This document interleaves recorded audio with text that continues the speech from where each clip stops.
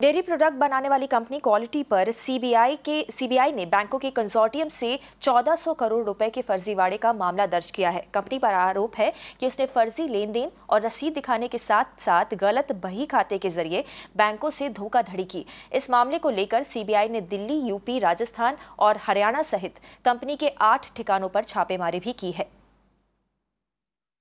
भवतोष सिंह हमारे साथ phone line पर हैं और ज़्यादा जानकारी लेकर। भवतोष, और क्या बता सकते हैं इस पूरे मामले के बारे में?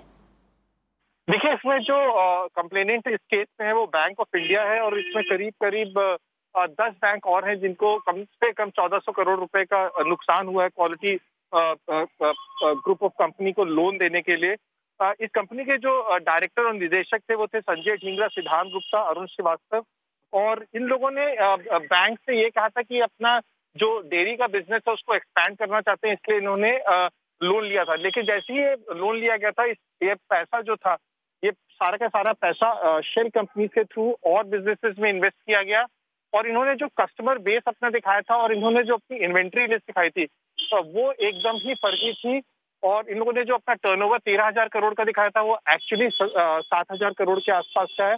कल कल कम से कम ग्यारह जगहों पे इंक्लूडिंग दिल्ली में रेड हुई है। सीबीआई ने कहा है कि इसमें सिद्धांत गुप्ता और जो बाकी प्रमोटर है क्वालिटी ग्रुप ऑफ़ कंपनीज़ के, उनको क्वेश्चनिंग के लिए बुलाएँगे। इस पूरी की पूरी जाँच जो है, वो फोरेंसिक ऑडिट रिपोर्ट पे बेस्ड है, जो बैंक ऑफ़ इंडिया ने इसके लिए कराया था, जिसमें साफ़ ये दिखाई देता है कि इसमें जो कुछ बैंक ऑफिशियल्स भी इन्वॉल्व थे, जिन्होंने ना इन्वेंट्री लिस्ट चेक की और जो उन्होंने कभी भी ये नहीं देखा कि जो ये कंपनी है जो अपना टर्नओवर करीब करीब तेरह हज़ार करोड़ बता रही है, उसका आधे से कम टर्नओवर था कंपनी का।